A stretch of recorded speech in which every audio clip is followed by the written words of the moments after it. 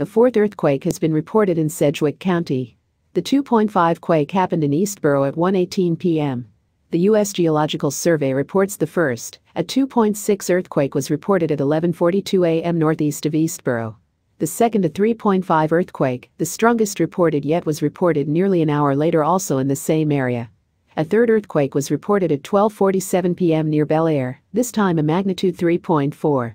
The Kansas Geological Survey has confirmed at least three different earthquakes have shaken Wichita since 11:42 a.m. on Saturday. All three of these earthquakes are located in E. Wichita near 13th Street. The first earthquake reported was a 3.0 magnitude, followed by a 2.9 magnitude shake at 12:40 p.m., and then a 3.7 magnitude 7 minutes later. The U.S. Geological Survey also confirmed a fourth earthquake around N Greenwich and E 21st Street. The USGS said this earthquake happened at 12:52 p.m. and was monitored as a 3.4 magnitude.